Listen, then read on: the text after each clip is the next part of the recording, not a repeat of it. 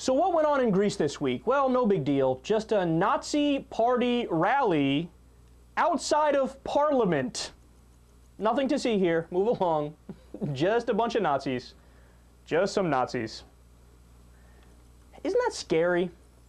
There were about 1,000 supporters of the ultra right wing fascist Golden Dawn Party that were protesting the pre trial detention of their leader, Nikolaos Mihaloliakos, and he's up on charges of forming a criminal organization. And this all started back in September when authorities began to crack down on the Golden Dawn Party because they murdered an anti fascist rapper. Now, these guys, this is the part that really gets me every time. This fact sends a chill down my spine every time I read it. These guys have actually gotten 18 lawmakers in parliament. 18 Golden Dawn people got elected. Isn't that amazing? Uh, now, as of today, 13 of them are in pretrial detention as well, and they are charged with crimes. But look, it's definitely good news that they were able to get the party on actual crimes and not just thought crimes, because now it's 100% legitimate to treat them like the fringe lunatic cult that they are because they got them on, you know, riot charges, the murder charges I was talking about with the anti fascist rapper. And uh, so they have a legitimate reason to throw a lot of them behind bars and treat them like what they should be treated as. And understand something, man, this is the equivalent of if the neo Nazi party in the US won a couple seats from Mississippi and Louisiana. I mean, could you imagine that? Oh, look, look at Congress. We have Nancy Pelosi over there. We got Mitch McConnell. And wow, a guy with a swastika tattoo on his forehead.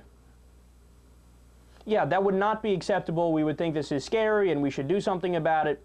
So uh, thank goodness they're cracking down finally on the Golden Dawn Party because there were reports that cops had infiltrated uh, the movement and they were on their side. So there were people in the police department that didn't crack down on Golden Dawn because they're sympathetic to their movement.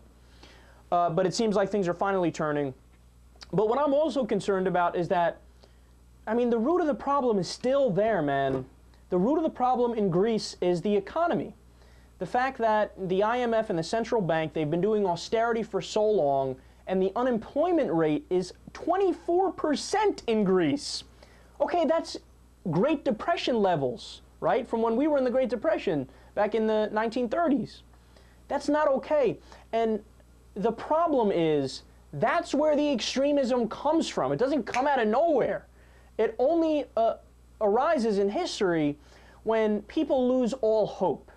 And you lose hope when the establishment and the status quo just gives up and doesn't care and doesn't actually try to make a better life for their citizens. So they turn anywhere for answers. And anybody who's a charismatic leader at that time rises up in power. Look at what happened with Hitler.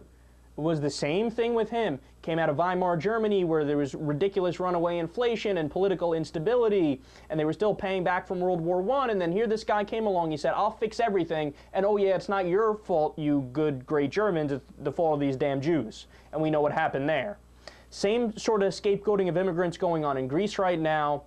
it's, it's unacceptable, but you got to fix the root problem, man.